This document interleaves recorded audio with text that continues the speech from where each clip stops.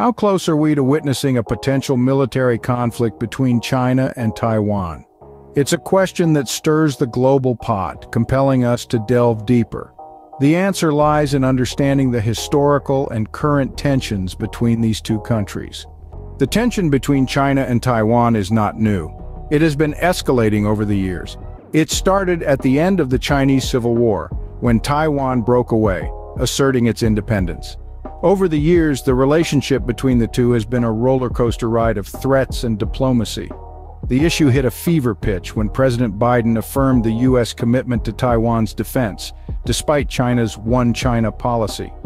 Today, with China's aggressive military drills and provocations near Taiwan, the situation is more volatile than ever.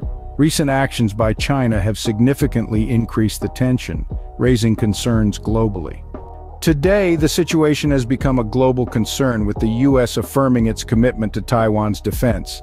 As China increases its military activities near Taiwan, the geopolitical landscape is in flux. The world watches as the dynamics between these two superpowers evolve. So how concerned should Taiwan be about a potential attack from China? The stakes are high, of course, with implications for Taiwan, the region, and the world.